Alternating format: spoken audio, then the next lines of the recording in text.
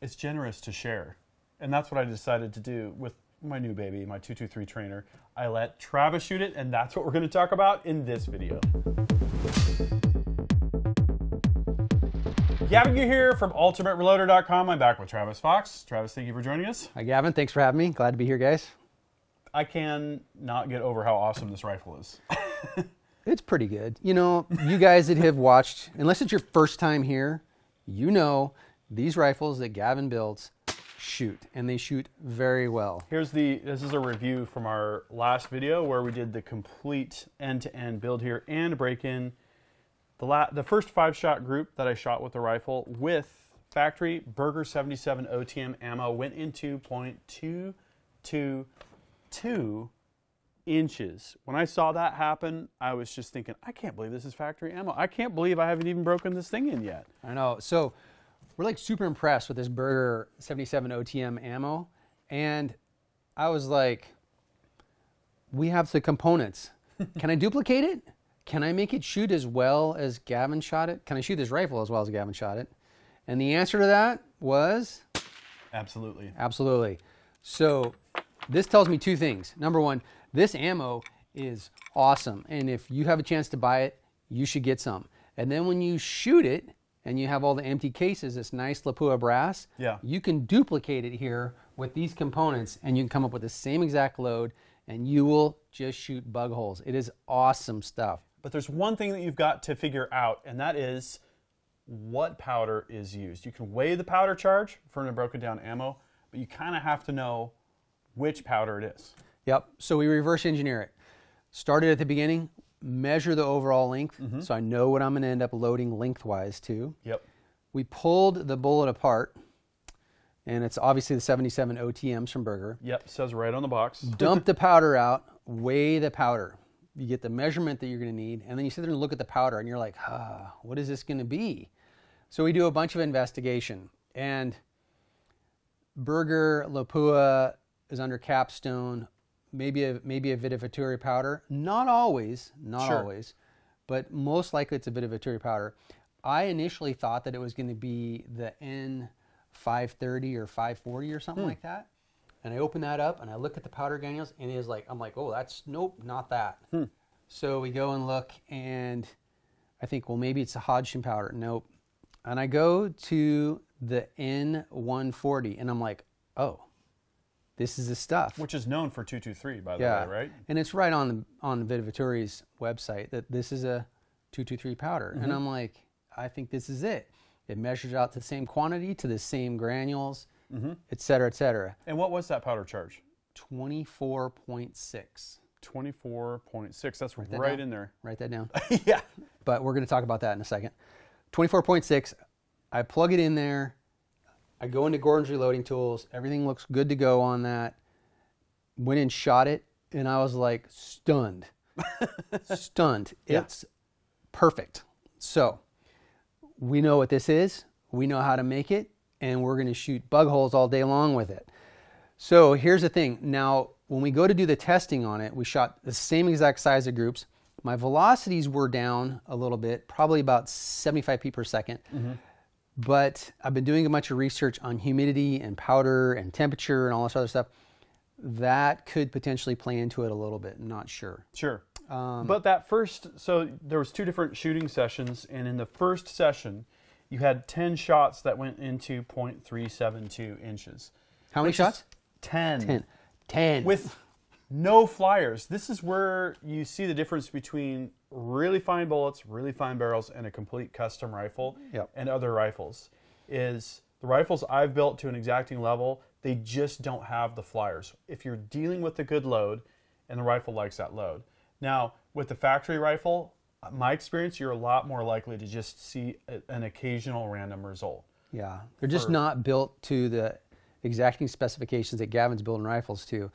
So honestly, to, to take 10 shots and I'm watching these groups and it's just staying all together. And I'm like, oh man, I got to make sure and do my part, you know, and everything. But it just comes together and you get done and you're like, wow, that was cool. Very yep. cool. And your son, Prin. This Yep. was kind of an introduction to precision rifle. I mean, he shot before, but like Yep. nothing like this, right? So my son is my son is getting into center fire stuff. He's shot some NRL 22 before. Mm-hmm. I took him with this. I had him shoot some groups with it. He shot a group right off the bat that was very small. In the threes with Yeah. a bipod, Yep. right? Yeah, So- with the bipod. That wasn't even off the bench. yeah. So here's a, a young kid who he's just he's got a little bit of shooting experience. He's just kind of getting into it more, and he was able just to just stack them, and it was pretty impressive. I mean, good discipline, a good rifle, easy to shoot, very fun. Yeah, it's a way to get people hooked on shooting. You know, you have this Trigger Tech trigger set down at 6.8 ounces. You know, you've got it in a, a nice rest or or with the bipod and a nice rear bag. It just goes where you point it, Yep. and it's that that's the start of the addiction. That's Yeah. that's what I love about this. Yeah. Yeah, so it's he, good to share, right? he was actually shooting some steel with it, and he was like, "Oh, that's that's pretty fun." So Nice. Yeah, he definitely wants to shoot some more, and he was pretty happy about this one. Yep. So we can see now the difference was you were shooting 10 shot groups across the board, and that wasn't a part of my uh, you know break in routine or whatever. And I would say a 372 group for 10 shots is real close in performance to a 222 group at five shots. You know, Yeah. we're gonna have to do a little bit more shooting. Um, and then came shooting suppressed, right? And so that was today's exercise. Three different groups, all of them, one of them under a half inch, and a couple of them kind of at a half inch, uh, with a lot of Mirage. Yep. And probably with the suppressor, was that the Omega 46? I believe so. Yes. The hybrid. Yes. Uh, not Omega, the hybrid It was 46. a hybrid 46. Yes, with a suppressor cover on it. I'm wondering if that threw the tune out a little bit in terms Oh. of the harmonics, you know? It could have a little bit. Yeah. It wasn't. It's still not bad groupings though. Oh, no. Um, 10 uh, shots into a half inch is, Yeah. Super. Very acceptable. I mean, we could always make it better yep. for sure. We could try some different loads, I think, you know, I- with the suppressor, or Yeah. even try the Omega 300 as, as, as another alternative. True. I have gone to when I'm gathering data for things to trying to increase my uh, my data set by more more shooting. Uh, I think you get a better result and you get better data. So we can get really good. You can always, you know, these guys have the three shot groups and the people have five shot groups. And when I'm gathering data, I'm tending to run to a 10 shot group now, even sometimes a 20 shot group for chrono data and stuff like that, ballistics data, things like that Yep. but it gets very stressful doing that because you want to make sure you're pulling the trigger the same every time and you got to keep those group sizes small. Yeah, absolutely. So we saw here that we were able to replicate the accuracy of the Berger 77 OTM factory ammo. And by the way, if you're doing anything except reaching out to the farthest corners of the universe, this ammo out of the box, at least in this rifle, you know, awesome. Yeah. But where we did see a difference was with the velocity data. So why don't you walk us through that? Well, the velocity was, I was about 75 feet per second slower on our load with the same powder charge, same accuracy. Part of me wonders if it's humidity thing or temperature thing. I'm not quite sure. Uh, we're loaded the same length, same everything is exactly the same. Could be primer though too. Oh, that's a good point. Yeah, we don't know what primer they're using. I'm not sure what primer they're using. They could be using a different primer. That that's gonna that could gain you, I don't know what, 20, 30 feet per second, maybe on a two to three cartridge. I find that hard to believe, mm-hmm. but they could gain some with that. However, I still am more in the humidity thing. Okay. So let's look at the SDs and the ES. For the factory loads, we had an extreme spread of 67 and a standard deviation of 19.93. Let's call that about 20. and then for the 24.6, there's an extreme spread of 30, which cuts it less than in half, and an SD of 10.82, which approximately cuts that in half. Very good. Yep. 24.7, 36.76, and 11.73. So we're right knocking on the door of what we could use for a, a thousand yard load. Now, shooting 223 at a thousand yards is not easy, but if you're in a PRS match and you're shooting tactical bolt class, you're going to be doing that. Yeah. Right? It's it's a reality. It's going to be really hard to see your hits and your misses, and you're going to have some extreme, you know, dope for dial up. Yeah. Uh, but it's totally possible. You know, we've we've definitely done it. I've shot the Valkyrie here at a thousand yards pretty frequently, and it's actually done pretty pretty well, depending on on the wind. So my takeaway is, I think since you were using the A&D FX120i scale and weighing down to 0.02 approximately consistency, Yep. what would factory loading equipment give you? 0.1 to 0.3 variation, maybe Probably, yeah, range. You know, there. Uh, any any mass-produced ammo, um, that does make a difference.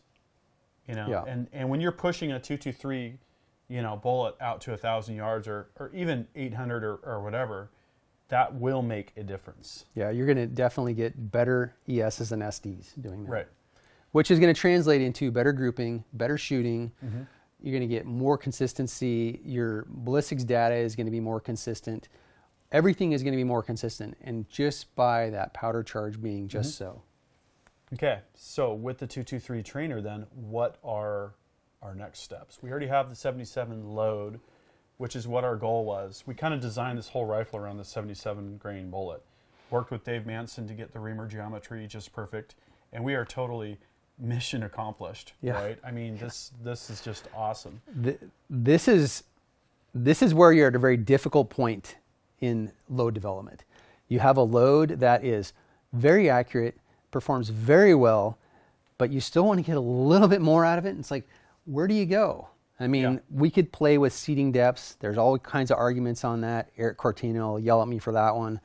Um, you know, I would like to see a little bit more velocity maybe on this same bullet. So mm-hmm. seating the bullet out a little bit longer, because this is a compressed load. You're crunching down the powder on this, mm-hmm. by the way.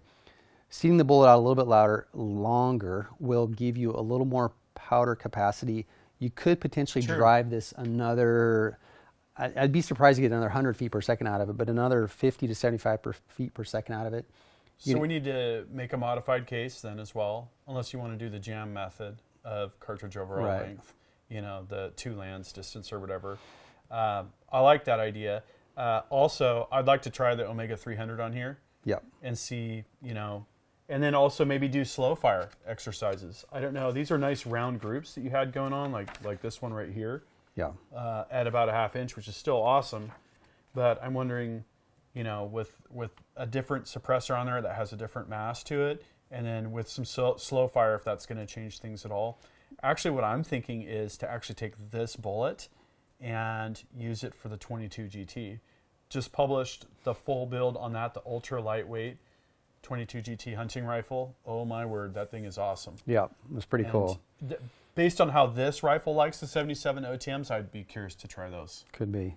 Yeah. The other thing I'd like to do is we may need to try a different powder, get True. different velocity. So yeah, we could try Varget, for instance. Yeah. So we have questions on that, and we'd love to hear you guys' feedback.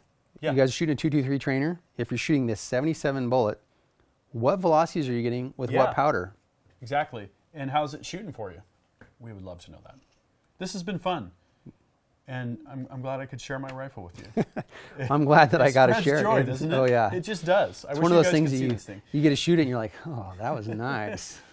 Now, I will also mention that we have opened the wait lists. We now have our FFL 07, and we're going to be looking at rifle builds for the general public. So if this is something you're interested, you can go to ultimatereloader.com slash rifles and get on that wait list. We have no timeline so far. Uh, we're wanting to see what people want, and when we're ready, we're going to reach back out to people. So this has been awesome. Now I got to see what I can do with 10 shot groups. Fingers crossed, maybe even better than what you did. I hope so. This has been fun. That concludes this video, and that means it's time to wrap it up. I hope you liked this video. If you did, please give it a big thumbs up. Also, make your voice heard. If you have something to say, please drop a comment. Make sure you're subscribed with notifications because you're not going to want to miss the awesome content that is coming up. And finally, flex your reloading pride. You could look great in one of these t-shirts. We've got multiple designs at the Ultimate Reloader store. I'll see you later because I'm off to go shooting.